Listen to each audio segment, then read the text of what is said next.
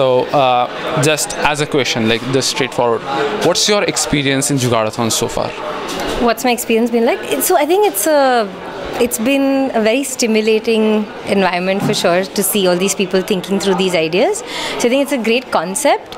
Um, I think as as a you know as a group of people, it's been lots of different stakeholders in this thing, right? So there are engineers, there are public sector, um, you know, practitioners, etc. So I think as of now, on day one, ideas are still sort of coming in together. There's been a, um, you know, I guess a lot of discussion trying to understand the specific problem that they're trying to solve.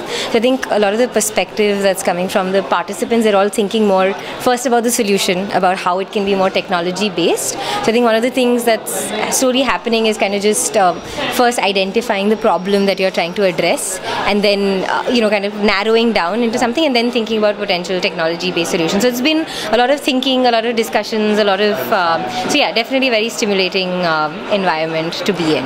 So yeah, I think that's kind of the. Thank, thank you. Oh, welcome.